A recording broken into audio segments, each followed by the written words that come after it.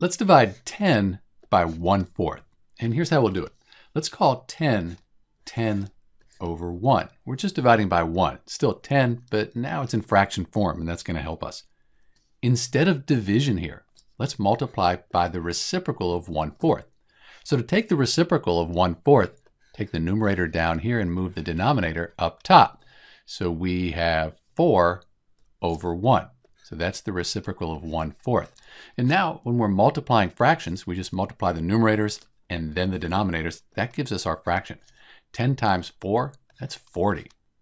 1 times 1, that's 1. And if you divide 40 by 1, you get 40. So when we divide 10 by 1 fourth, we end up with 40 here.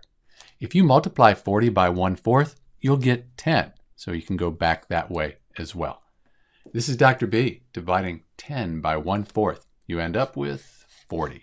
Thanks for watching.